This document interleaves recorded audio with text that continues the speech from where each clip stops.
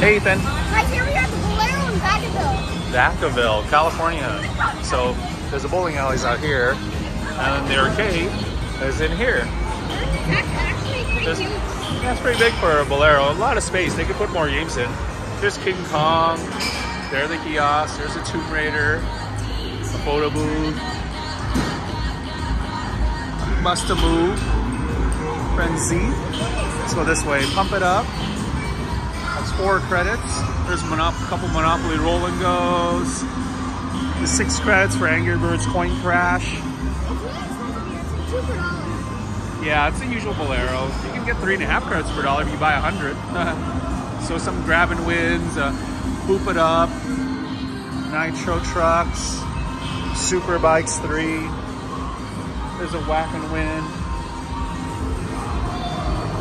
There's Ice Ball, Snowball Toss, Big Bass Wheel, Monster Jackpot, Crossy Road that stretched out, 500 ticket jackpot, four credits.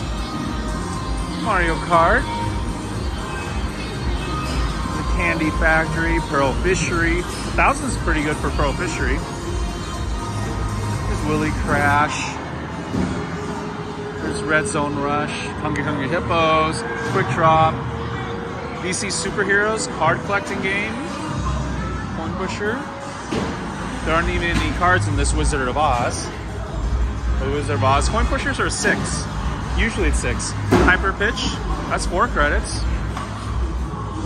Rock the rim. Power roll, two power rolls. There's NBA game time. Uh, down the clown. And here are their prizes. They have actually they'll have a low price counter. Some monopolies up there some pop figurines, a few like mini game arcades, machines there, candy here, other small stuff.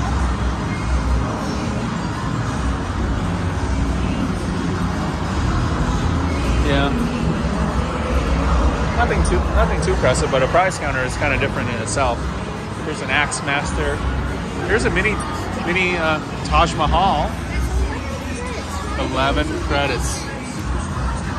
Mostly 100s and 225s and 150s.